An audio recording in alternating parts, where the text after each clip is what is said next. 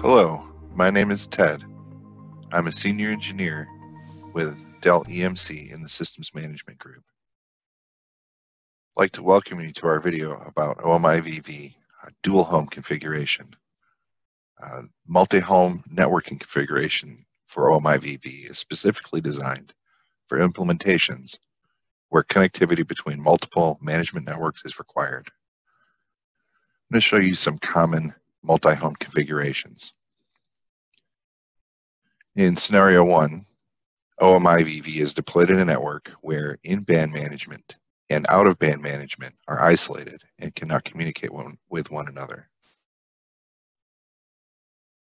Scenario two is where OMIVV is deployed in a network where there are two vCenters, each deployed in their own isolated network, each containing both in-band and out-of-band management networks.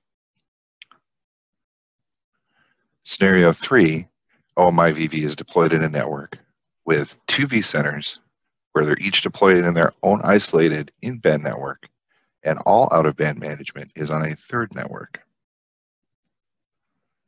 Scenario four, OMIVV is deployed in a network where a single in-band management network exists and two out-of-band management networks exist.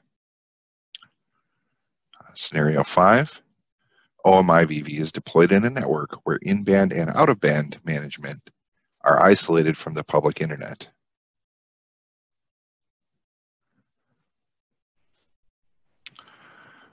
When configuring OMIVV for multiple network connections, it's best to add the extra network connection while the VM is turned off. We're going to go ahead and uh, configure this for a separate iDRAC network.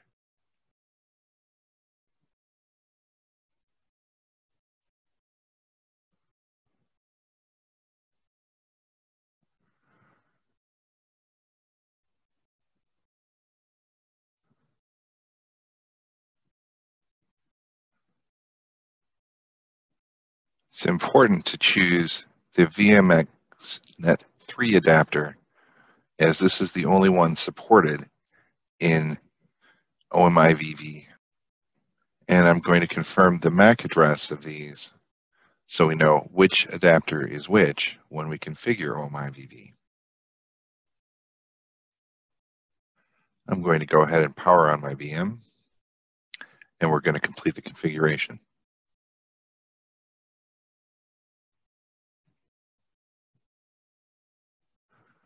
Going to bring up the remote console here. Logging in as admin, we can configure that network.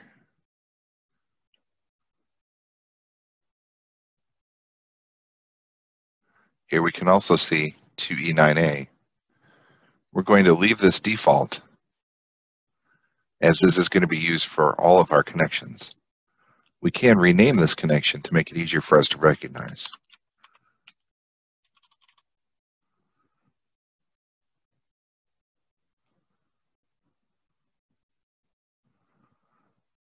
For our wired connection 2, this is going to be our out of band.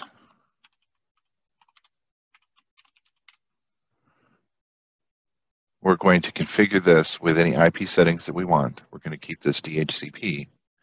However, we do need to choose routes and use this connection only for resources on its network.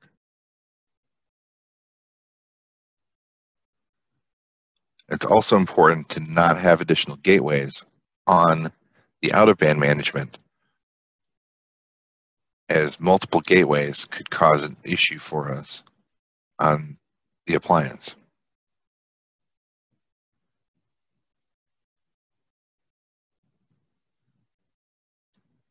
Now that we've configured our networks, we can proceed with registering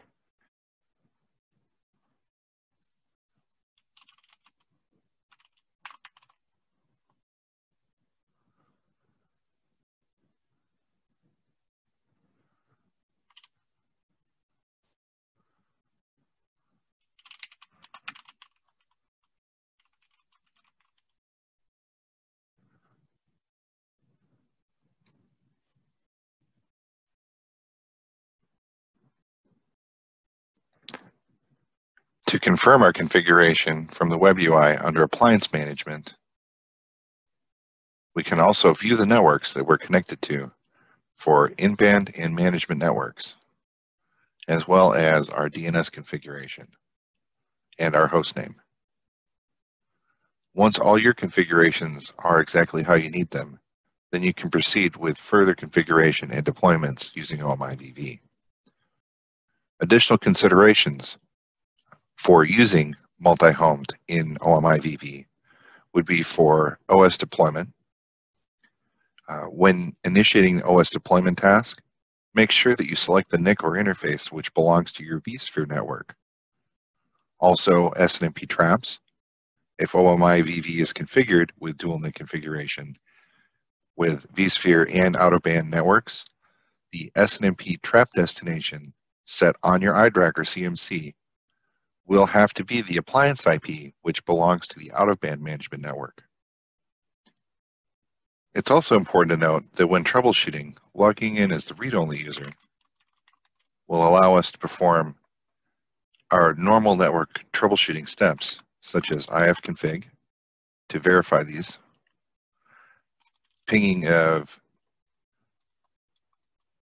IP addresses on the network, or checking our route configuration to make sure that our routes are properly configured. All the information that I've gone over today is also available in our Deploying and Configuring OMIVV in a Dual NIC Environment white paper.